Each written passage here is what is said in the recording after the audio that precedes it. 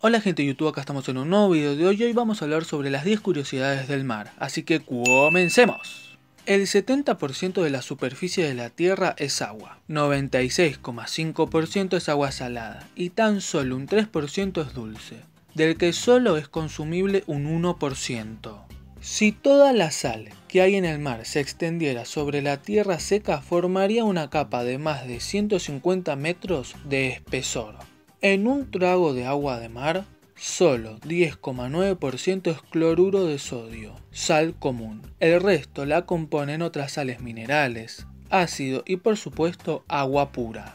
¿Por qué el mar es azul? El mar presenta una gran cantidad de agua mezclada con otras sustancias como la sal o el carbonato de calcio, que hacen más difícil que la luz las atraviese, haciendo que parte de esa luz sea reflejada. Marrón o rojo. La presencia de sedimentos también influye en el color del mar, por eso en ocasiones el mar puede verse de color marrón, después de una riada o de un periodo de fuertes lluvias, o incluso rojo, motivado por la presencia ocasional de microalgas rojas.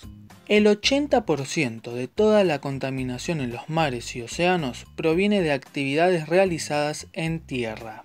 El nivel medio del mar ha subido entre 10 y 25 centímetros en los últimos 100 años. Si se fundiese todo el hielo del mundo, los océanos crecerían 66 metros. El 95% del volumen del océano está todavía sin explorar. Las olas se forman a causa de la fricción del viento con las aguas superficiales del océano aunque también pueden ser agravadas por perturbaciones submarinas como consecuencias de terremotos, grandes deslizamientos de tierra o erupciones volcánicas. Se estima que cada año acaban en el océano unos 8 millones de toneladas de residuos plásticos, lo que convierten a este desecho en el residuo más común de los océanos. Si les gustó el video de hoy, por favor suscríbanse, den el like y comenten. Hasta el próximo video. ¡Chao!